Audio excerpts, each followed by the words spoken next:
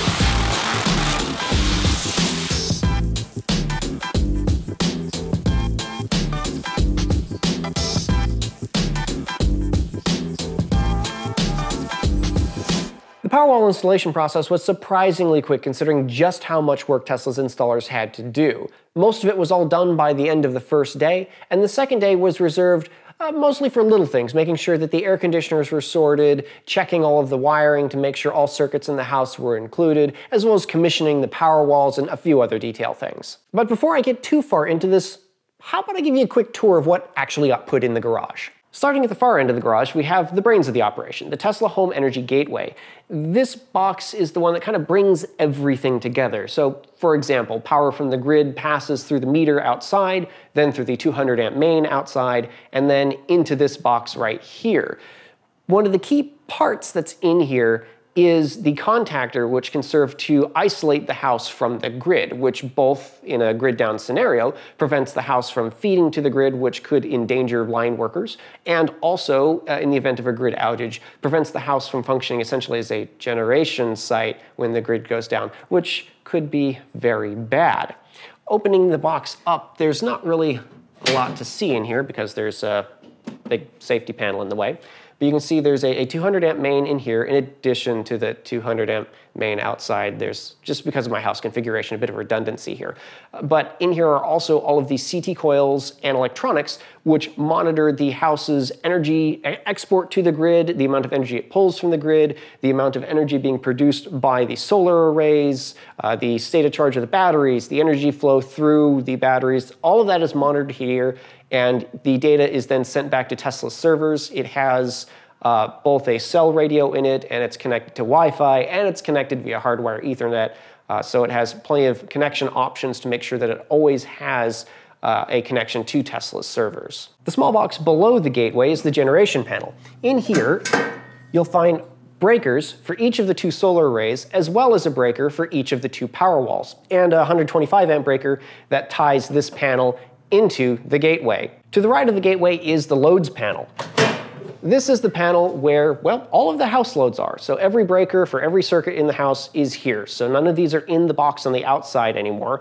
A big part of the work was actually intercepting the wiring for each of the branches, bringing it down this piece of conduit here, into here, extending the wires, and then joining it up to all of the breakers. A little further into the garage, you'll find the two power walls. Each of these can store about 13.5 kilowatt hours of energy and has a maximum continuous output of about 5 kilowatts. So combined, they store about 27 kilowatt hours and can output about 10 kilowatts, which is plenty to run the whole house even if the air conditioners are on. Each of these rather large steel boxes contains lithium ion cells up to eh, about here or so, and then the upper portion uh, of the enclosure is where you'll find the power electronics. So the bidirectional inverter, the pump for the liquid cooling system, the heat exchanger, the fan, all that kind of stuff. So these batteries are liquid cooled.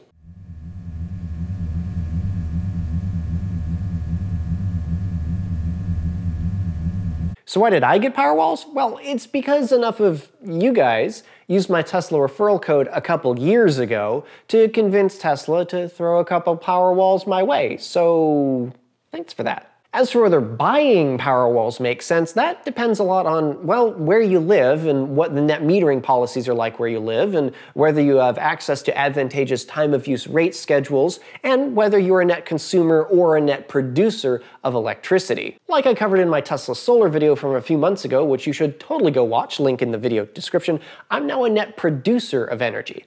The real advantage for Powerwalls is for people who are net consumers because it allows you to rate shift.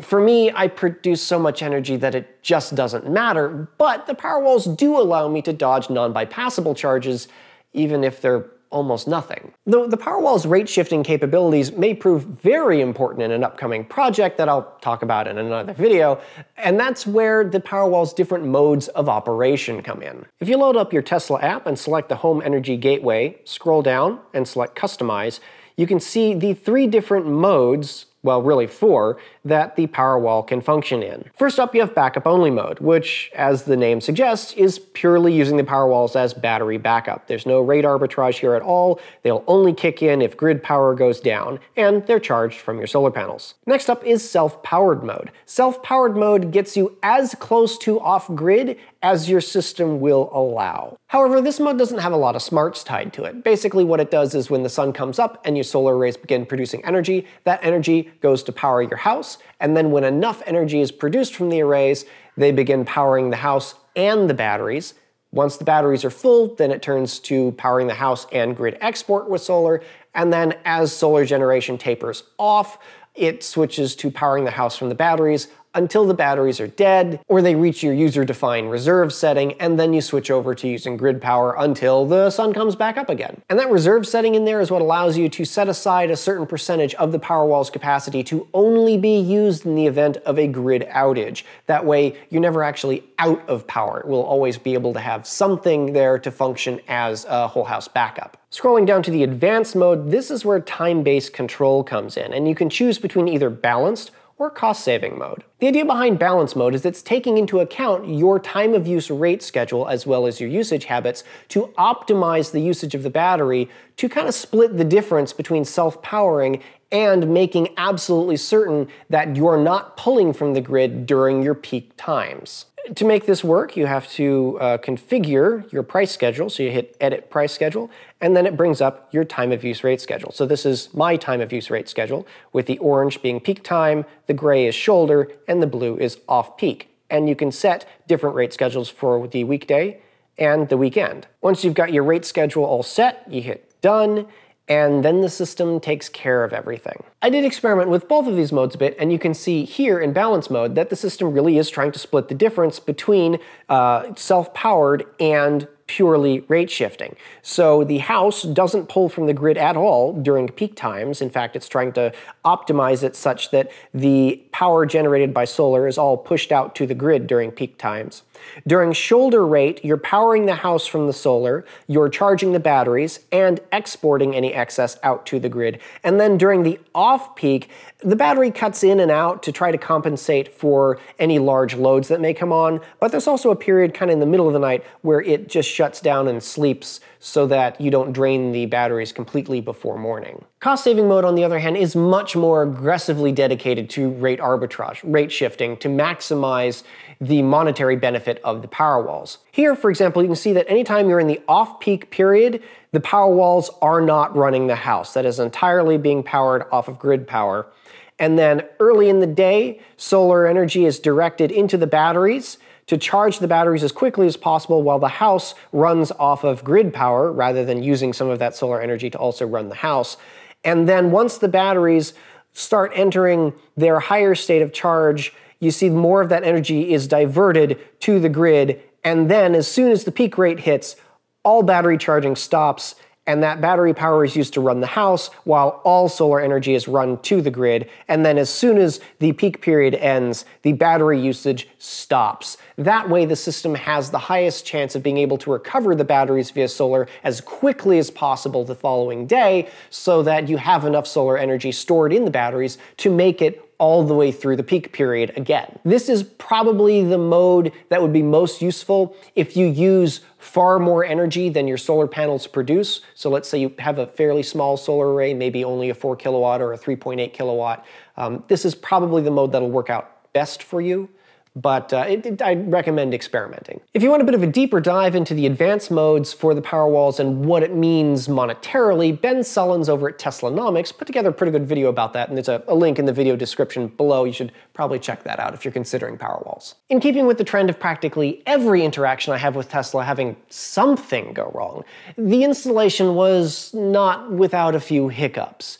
The installation was finished on September 13th of 2019, but all of the little bugs and problems and stuff weren't completely worked out until mid-November. Thankfully, the problems I experienced for the most part were pretty small. After day two of the installation completed, I found that one of the two air conditioners that's part of our central air conditioning system wouldn't start up at all, uh, and it was pretty unfortunate because it was warm here in September, actually quite warm here in September, and the air conditioner that wasn't working is the one that cools the side of the house with the master bedroom.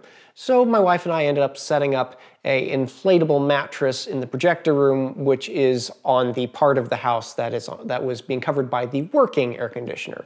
You know, so it wasn't like 90 degrees in here when we were trying to sleep. Thankfully, one of the Tesla installers came back out on a Sunday to make sure that everything got fixed and taken care of as quickly as possible. So props to them, got it taken care of. But there were a few other little issues. Curse this winter sun for setting so early. There we go, that's better. Right, other issues I encountered. There were two main issues, the first of which being that whenever the power walls were at a high state of charge, like 97 to 100-ish percent state of charge, and the grid went down and the power walls entered backup mode, the first thing they did was increased the AC frequency to 65 hertz, which is very, very high. Here in the US, normally that's 60 hertz. Typically, you don't see deviations uh, above like 60.5 ever. Uh, but anyway, they jumped to 65 hertz, and the reason they did that was to force any solar inverters that are connected to the power walls to shut down. Because when the power walls are at a very high state of charge, uh, you don't have anywhere for that solar energy to go, and that's a problem.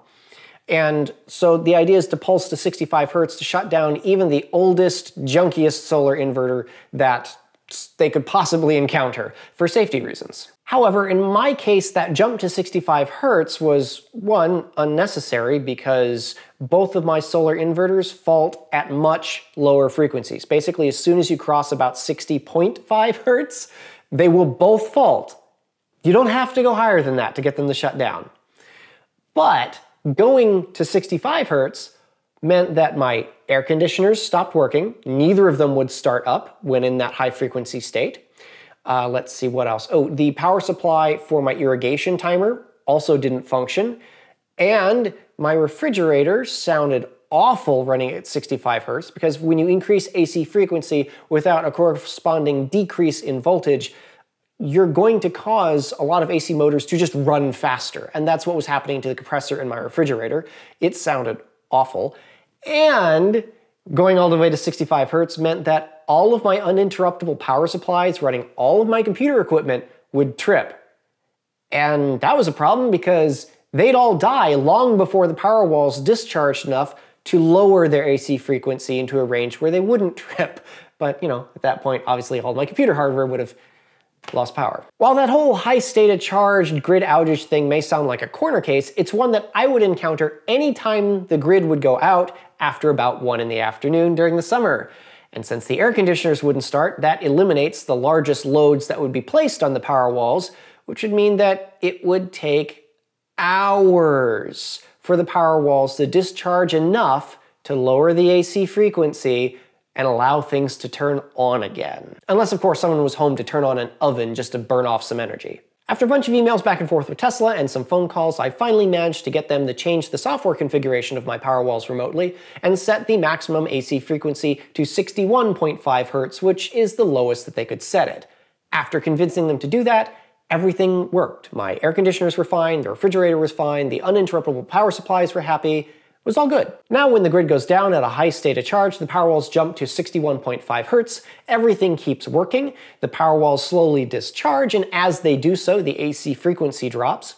Once that falls below 60.5 Hertz, which is usually around 96% state of charge, the solar inverters come back on, start producing power, they send power to the house, they send power to the batteries, and as the batteries cross 97%, since they're charging, the AC frequency increases again, once that crosses 60.5 hertz, the solar inverters fault and shut down, and the batteries are powering the house. And it just cycles like that and cycles like that over and over and over until the solar inverters can't produce any more power because the sun went down, and then the house just runs on batteries. If you do some Googling or looking around in the forums, you'll see that the AC frequency spike to 65 Hz is a pretty common issue, though not everyone has problems when it jumps to that high of a frequency. So if you experience something like that, you'll just have to work with Tesla to get them to adjust the frequency down to a point where one, it's safe, uh, and two, pretty much everything works. The other issue I experienced was a weird one.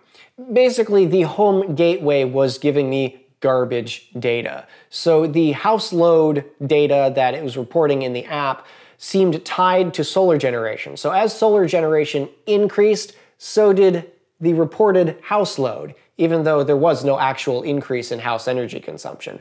I was also seeing strange things like uh, energy being exported to the grid at like 9 p.m., which the batteries shouldn't even be able to export power to the grid, but they were doing it. The phantom load issue during hours of solar production was so bad that in this example, I shut down all of the breakers in the load panel so there could be zero house load, and yet a significant house load was still being reported by the gateway. Here you can see the gateway reported a significant drop in house load when it transitioned from using the batteries to charge one of my cars to pulling from the grid. But there was no actual change in the charge rate on the car because I was able to pull up my open EVSE data and see that nope, flat line. There was no change in the charge rate at all.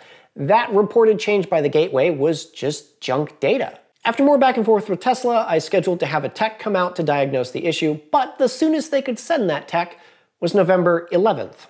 Like three weeks from that, that point in the conversation with Tesla. Not great, but you know, hey, wasn't a critical issue really. Anyway, the tech came by, poked around a bit, and discovered that this whole mess was caused by the factory installed CT coils in the gateway. So it wasn't anything that Tesla's installers did. They didn't make any mistakes there. It looked like the CT coils had shaken loose in shipping or something. And as soon as he tightened them, all of the readings from the gateway snapped right to where they should be, and everything has been fine since. With all that said, the Powerwalls and the capabilities they offer are really cool, and they can, in the right circumstances, save you some money. Also, if you're a fellow Californian, they provide backup power so you're pretty much immune from the public safety power shutoffs that we've been having over the last few months. So that's good too. But as usual, interfacing with Tesla is a pain in the butt. Their employees are great. All the installers, uh, the people you, you work with, they, they always try their best to make sure everything is taken care of as quickly as they can.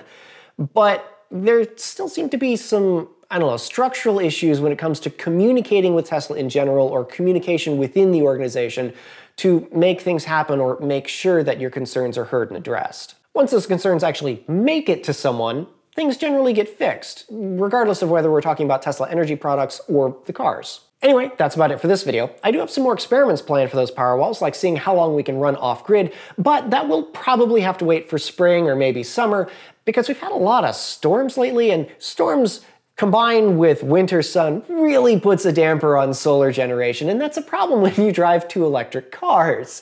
Uh, anyway, if you have any questions about solar or Powerwalls or whatever, go ahead and leave those in the comments below and I'll do my best to answer them. I should also have some more Powerwall content lined up for later this year when that project that I haven't actually told you about yet starts ramping up. Uh, but as always, I'll see you later.